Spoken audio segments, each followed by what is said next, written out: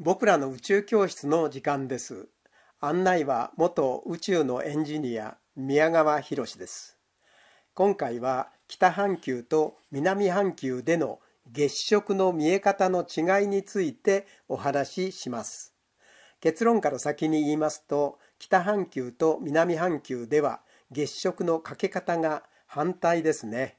えー、私が赴任していた南米チリの写真と日本での写真を比較したいと思います。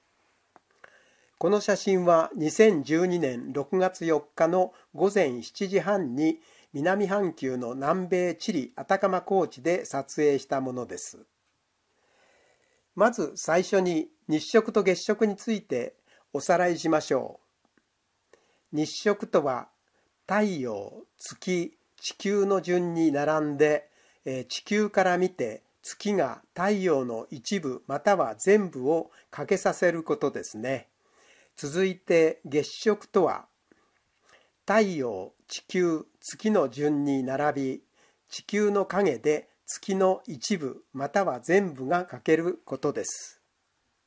先ほども言いましたがこれは南米チリで撮影した朝7時半ごろの月食の写真です。慌てて撮影したので少しブレていますけども左側が欠けていることはわかると思います。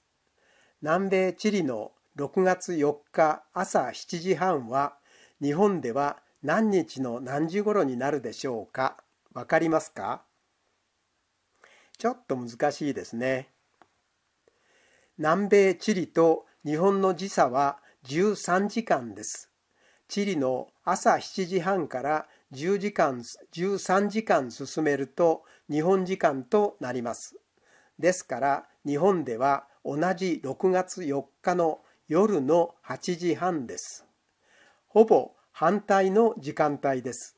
日本の昼はチリの真夜中ですね、えー、ちょうど日本から見るとチリはですね地球の裏側になるということです、えー、先ほどのチリでの月食の写真と同じ頃日本で撮影した写真がこれです。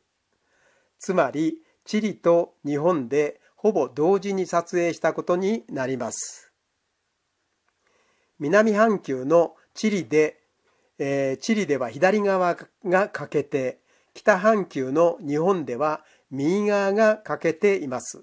ちょうど反対が欠けるんですね。どうしてかというと逆側から見ているから反対となるんです。北半球の日本から見る月は南の赤道方向に見えます。南半球のチリでも赤道方向には月は見えますが、南半球ですので北に見えるんですね。面白いですね。逆側から見てるから反対ということです。最後までご視聴ありがとうございました。